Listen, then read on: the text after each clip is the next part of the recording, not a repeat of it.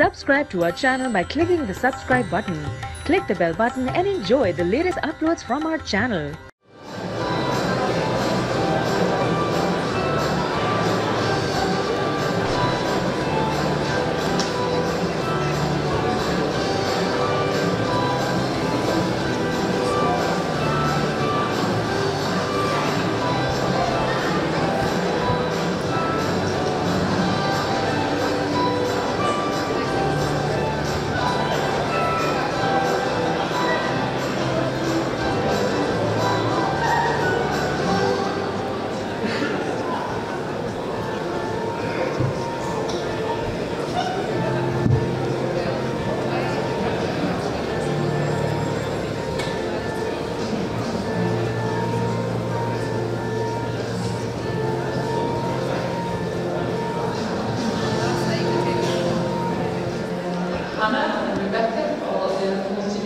Stand and CIS girls.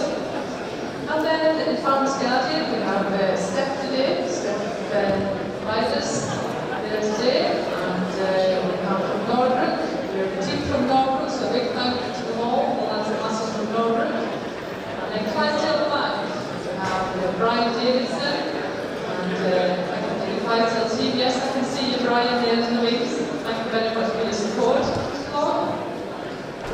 And our sponsors in this class, and the Care Prize, which the family are putting forward, the Royal family are putting forward, and uh, this is for the, the midweek break at the stables at the Prospects Farm. I mentioned this to Whitby in Yorkshire. A big thank you to the Morley family for their support here today. And now the, the line-up are now walking forward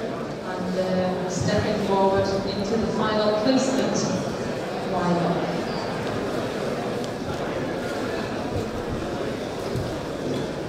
sure you'll agree this is an outstanding class of cattle here. We have these mature cows.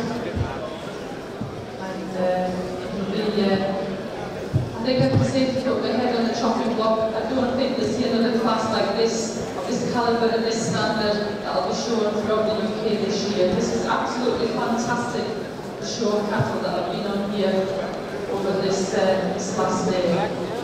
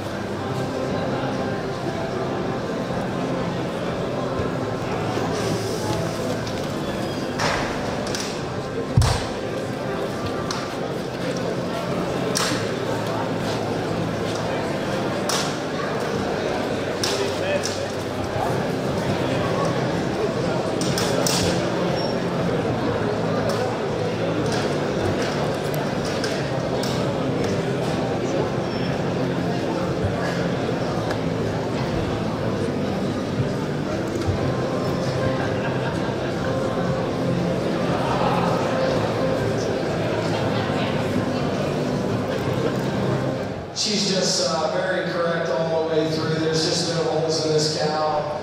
Um, this cow I best under. She's she's not a cow with a, a ton of veins on her but she's a cow that just has a really, really, really good under. There's the teats are where you want them, the size and the shape of the teats the way you like them. The fore under's smashed right in there, and the rear under's right up there with a great crease and and just a very, very nice cow. Today, she's a freer moving cow than a cow in second. I prefer the breed character about her head and the length of her neck and the way her neck comes out of her shoulder. Just a silkier, more open dairy cow, a cow with more quality system, like the size and shape of her teeth nicer today. The second cow over the third cow, I just prefer the way she blends her under into her body wall. It's a lot smoother today than the cow in third. I just prefer she gives me a little more flex to that hop area today. And she's just moving freer up to that front end today than the cow in third. She just overwhelms the third cow in her overall frame size uh, today as well.